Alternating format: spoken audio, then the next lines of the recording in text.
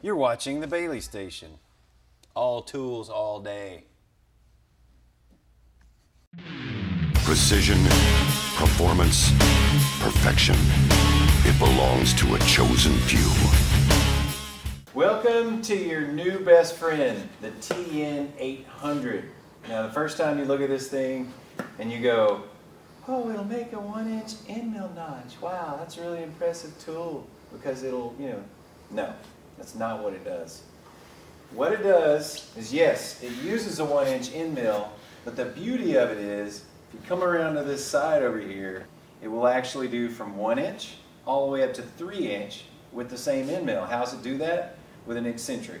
So you loosen three bolts, put your red dot to here, turn it around, that'll adjust it to whatever you want. Now right now we've got it at one and five eighths. So the other thing that this will do compared to, let's say you want a notch on a regular mill, like a vertical mill, is that it has a normal cam lock and you can set your degrees.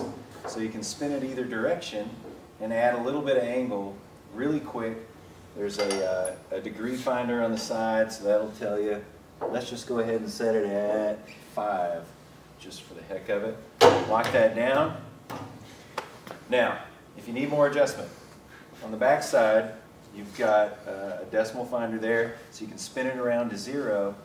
Go ahead and do your notch, and if you need to come back, that's really the big, for me, the big advantage of this tool.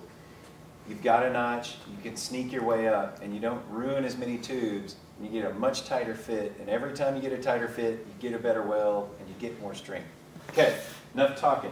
Let's get this thing rolling, and let you see how this baby works. Fire it up. You're to do one circle,